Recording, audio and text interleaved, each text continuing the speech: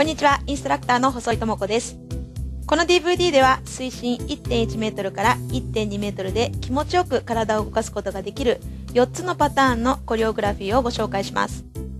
簡単なベースの動きから少しずつ変化要素を加えて完成形の動きへと導きます。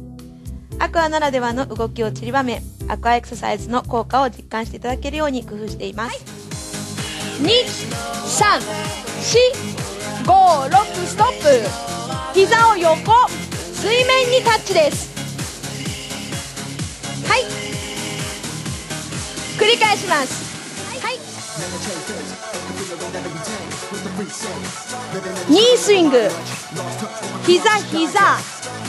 スト。ひねります。さあ、新しい動きをしますね。走る。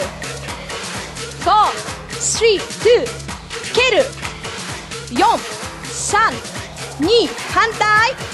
さあ、一番最初からやってみます。こうする？反対。